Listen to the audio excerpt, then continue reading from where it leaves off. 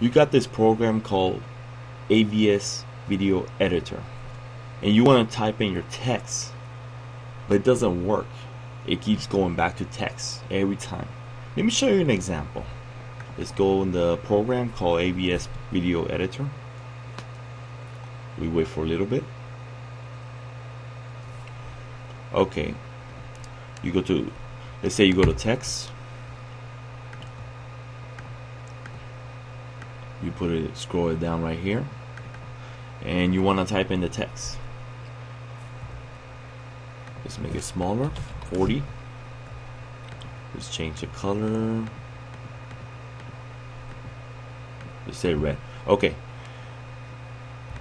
So you click it right here, double click, and look what happens. It doesn't work. Or let's say you move it up so you can make it work. You double click, and you want to put YouTube. You click it right here, and look, it goes back to text.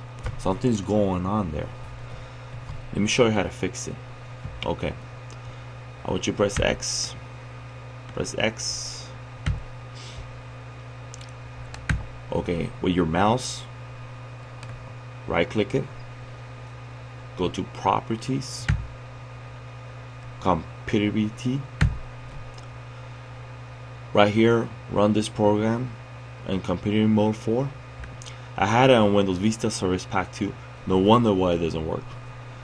I want you to go to Windows XP Service Pack 3 or Service Pack 2.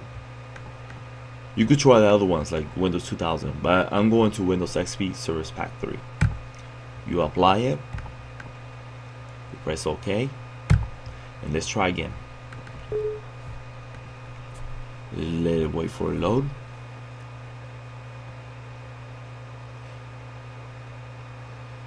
Okay. You go to text.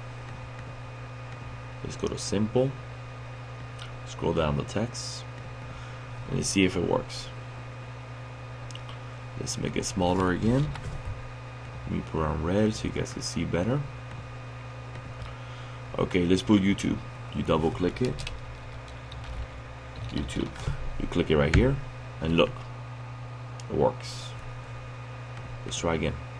Let's put um Xenon Gamer. That's my um, gamer tag name for YouTube. My channel name. And look, it works. So um, that's how you fix it. All you gotta do, just change it, change the company remote. Thanks for watching my video. Check out more tutorials or fun videos I have. Bye bye.